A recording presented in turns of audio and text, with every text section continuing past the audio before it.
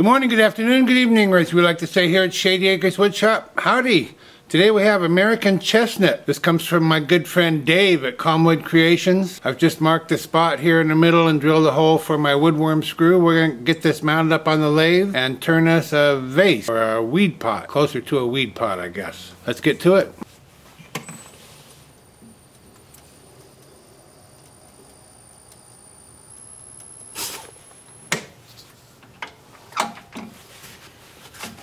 It's not always a good idea to use a woodworm screw on end grain, but this looks like it's pretty sound material and I feel good about it.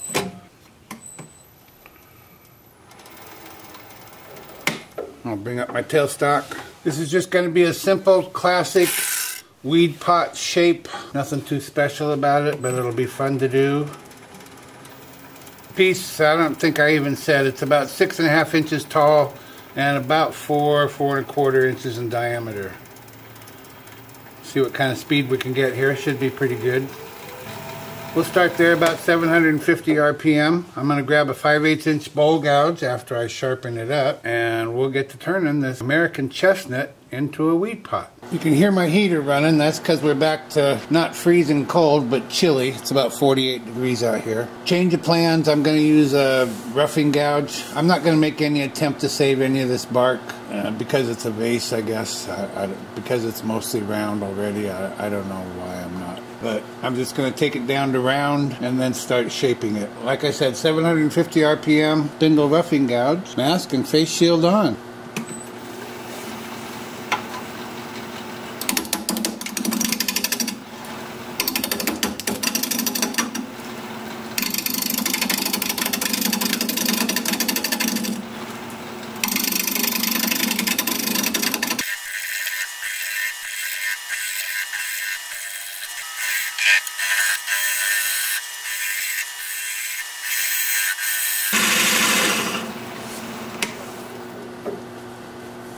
Okay, well that's pretty round. I'm going to square off the bottom here and we're going to put in a recess. I'm just going to use a parting tool to square it up.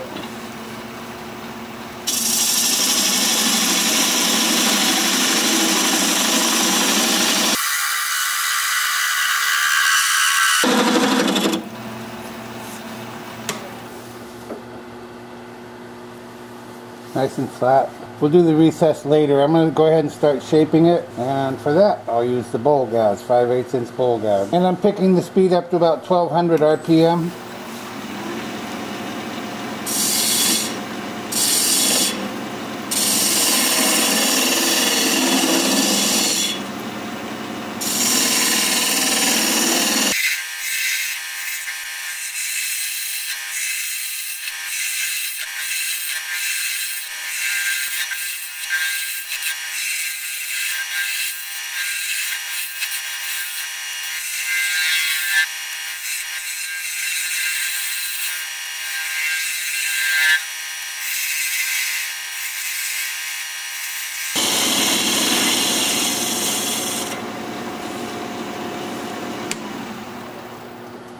Let's see what this green looks like. I grew up in a big house on a big corner lot and all across the front and all down the side was chestnut trees. And I spent a lot of hours in those chestnut trees.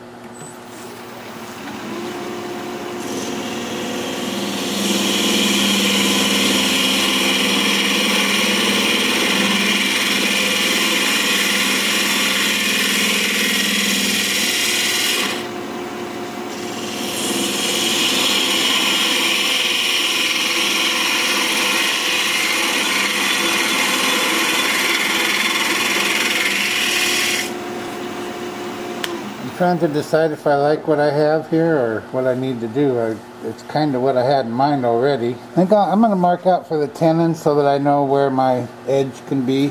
I know I said tenon, I didn't mean it, recess. So my edge pretty much needs to be just about where it is here, as the recess needs to be just a little bit larger than that circle. Well, I decided because I only have the woodworm screw holding it up here, rather than turn it out of their recess, I'm just going to go ahead and drill it, and then we'll do a little bit of turning to put the dovetail on the inside. So I've got the lathe spinning at 175 RPM. This is a 2 and inch Forstner bit.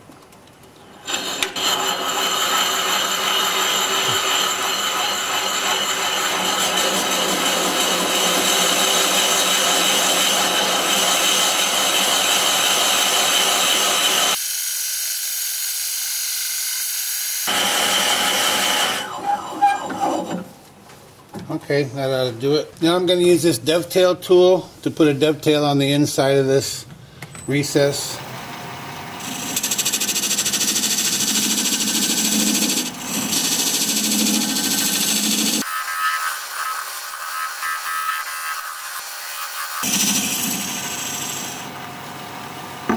And then to disguise my hole there from the bit,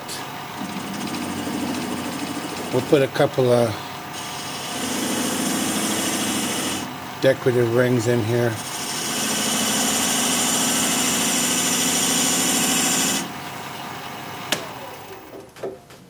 And that's good. And we'll turn it around and finish up our turning. Well, I'm getting a little ahead of myself again. You know, I'm just not used to doing spindle turnings. Uh, I'm going to go ahead and sand this and finish it because it's my last chance to do it on the lathe. And I prefer to do it on the lathe. So I'm just going to use a 2-inch disc, handheld, starting at 80.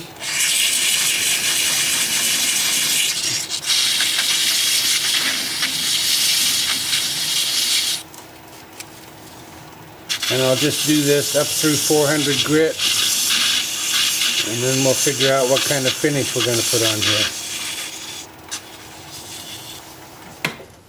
I've turned the piece around with the jaws expanded into the recess. I did go ahead and finish the bottom. It took like 20 seconds, so you didn't miss much. You, will see me finish the outside here. I think what I want to do is narrow this neck down a little bit I think it's just too thick. Uh, although I do want to leave it substantial, I want to be able to get a lot of flowers in there, not not just three. So I'm not going to take much off, but I think it just needs to be more narrow. Or this needs to be bigger, but I can't make it bigger because that's all the wood there is. Still have a little bit of bark left, so we know we haven't taken it all down yet. So all I can do is make this thinner, so that's what I'm going to do. I'm going to be using a half inch standard grind bowl gouge. I'm going to be turning at 1300 RPM, mask and face shield on.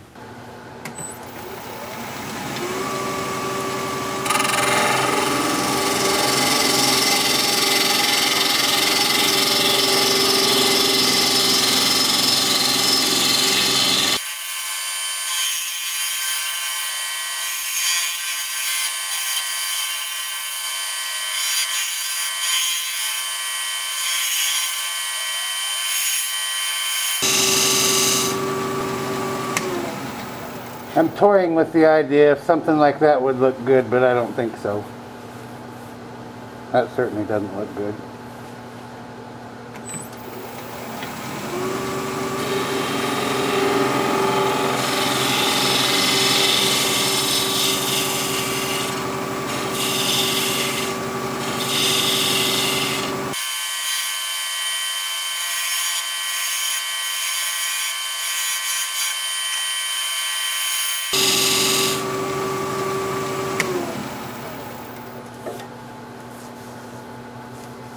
Still doesn't look good, does it?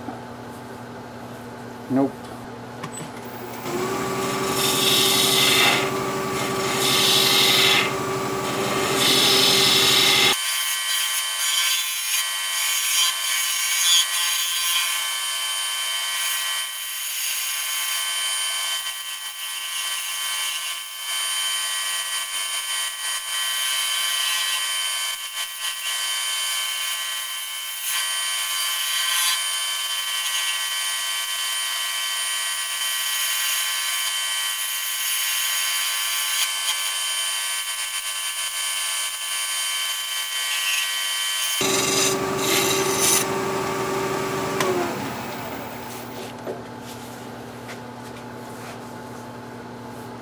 Well, it's a subtle difference, but I like it better. Yeah, okay.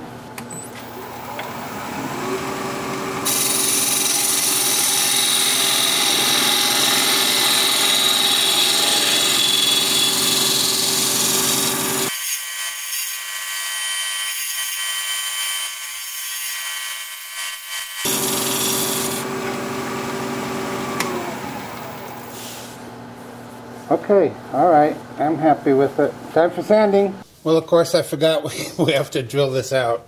I've got an inch and a half bit in here. It's not going to reach to the bottom, obviously. I'm going to add this extension to it once I get in there a ways. But it's easiest to get it started without the extension because the extension tends to wobble. But once I have a hole there, it'll be fine. Got the lathe spinning forward at about 200 RPM.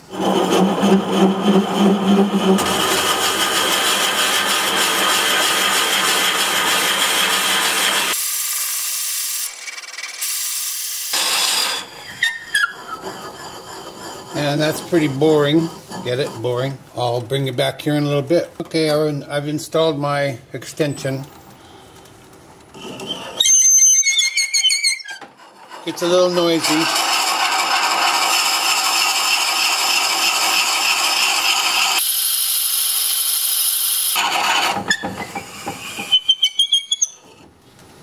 And I'll just be doing that a couple more times and then we'll be done. Okay, I want to open the mouth up just a little bit here. Uh, so I've sharpened up my half inch bowl gouge.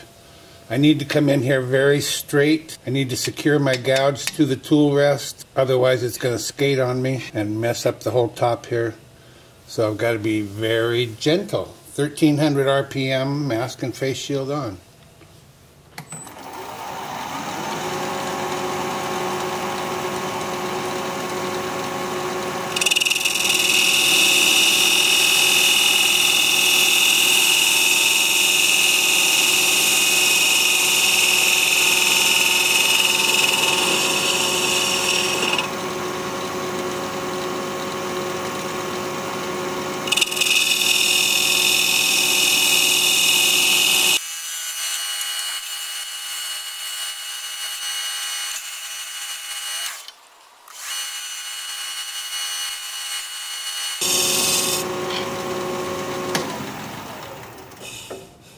Okay, now time for sanding. I'm going to start the sanding with this sandpaper on a stick routine I got going. I'm just going to fold this up a little bit. Actually fold it the wrong way. Here we go. Stick that in there. Turn the lathe on at about 350 RPM.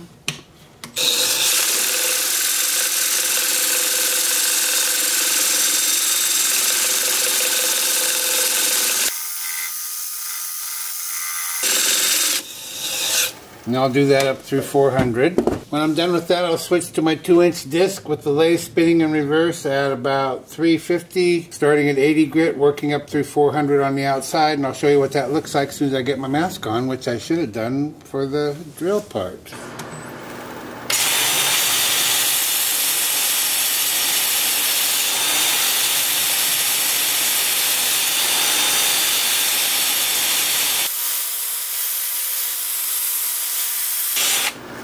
That looks like that's going to be really easy. I'll be back here in a bit and we'll put some finish on there. See you in a bit. I'm going to start on the inside here. I've got some sanding sealer in this little can and my brush. And I'm just going to stick it in there and turn the lathe on. And spread it around. I know you can't see all the way to the bottom.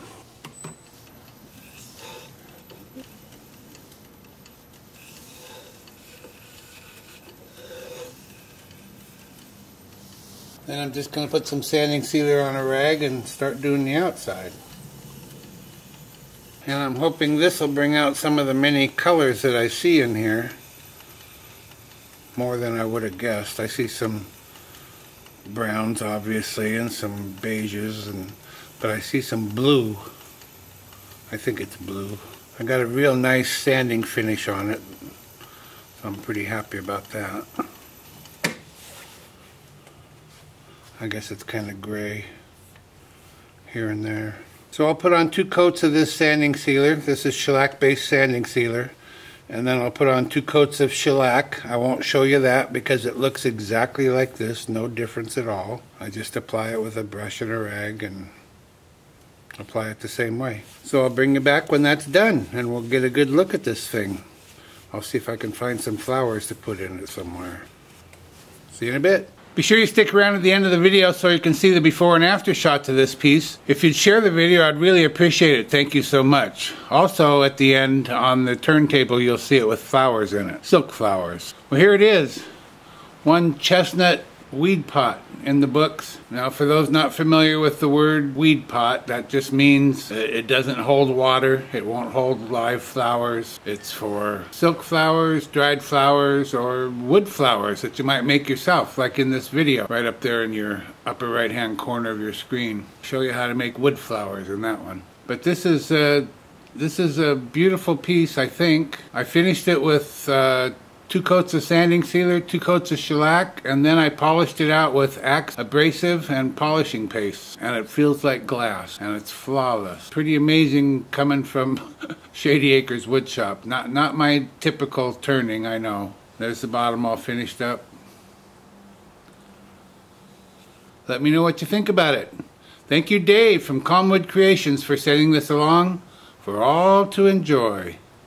If you like this video, thumbs up please, I'd sure appreciate it. If you're a subscriber, thank you very kindly, I truly appreciate that. If you're not a subscriber, you might consider becoming one. I put out regular videos about one a week, and I'd like to keep in touch. An easy way to subscribe is just click my picture you see there near the end of the video. Your comments are always welcome, and I love reading them. So for now, this is Phil, Shady Acres Woodshop, signing off.